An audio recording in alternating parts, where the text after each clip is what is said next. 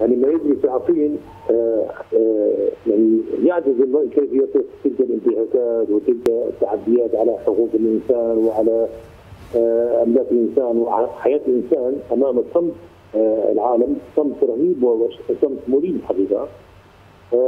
يعني يحتاج ماذا يقول أو ماذا يكتب أو ماذا ينشر أو ماذا يطالب.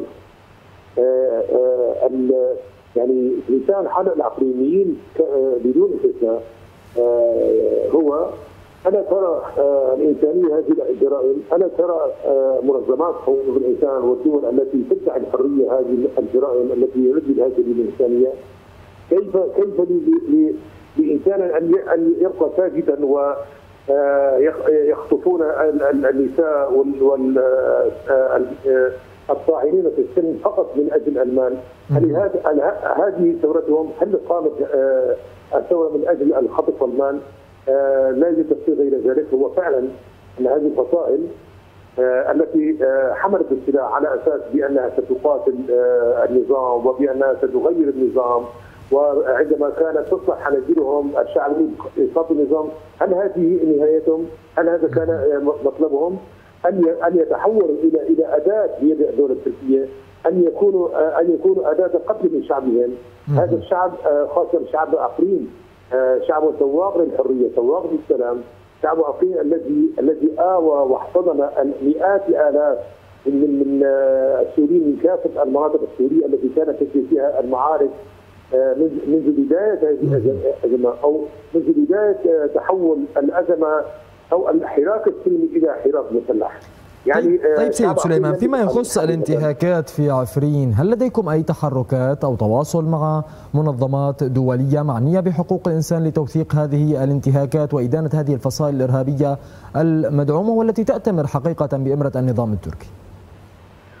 لكم من خلال منبركم واكد بأن كل ما يجري في عقين يتم توثيقه من قبل لجان حقوق الإنسان. ويتم تقديمها إلى الجهات المعنية والجهات أو لجان حقوق الإنسان وحتى إلى الامم المتحدة. لكن حتى الآن يبدو أن لا ندري ما هو السبب. هل هناك ضغط تركي على هذه المنظمات وحتى على الامم المتحدة؟ هل هناك يعني حقيقة نستغرب كيف نصل هذا هذا الصمت الذي يرقى إلى إلى مستوى التواطؤ ان صح التعبير، يعني لا أنا أنا شخصيا لا أجد تفسيرا غير ذلك، يعني منذ أسبوع إنسان طاعن في السفر عمره 63 سنة يدخلون إلى بيته بدم بارد ويقتلون بقصد السرقة. ولا الدولة التركية سمعت قبل كل الناس ولا تتحرك، المنظمات الدولية تسمع ولا تتحرك، يعني فعلا لجاننا لجان حقوق الإنسان في عقيل وفي شابة تعمل ليل نهار وتوثق كل شيء وحتى عدة منظمات وعدة جهات لكن مع الأسف لا يعني لم لم نلقى أي حراس أو أي رد فعل من هذه المنظمات يعني حقيقة نحن لازم نستغرب هذا الامر. طيب سيد سليمان يعني اليوم كان هناك دعوات حثيثة لوزارة الدفاع الروسية للنظام التركي على اتخاذ إجراءات لضبط الأمن وضبط هذه الانتهاكات في المناطق المحتلة. كيف تقرؤون هذه التحذيرات الروسية؟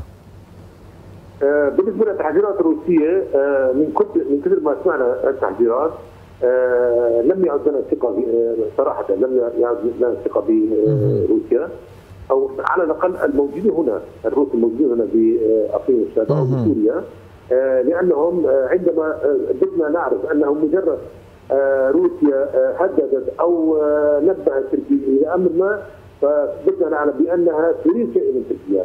اما أفعل كذا أو أفعل كذا.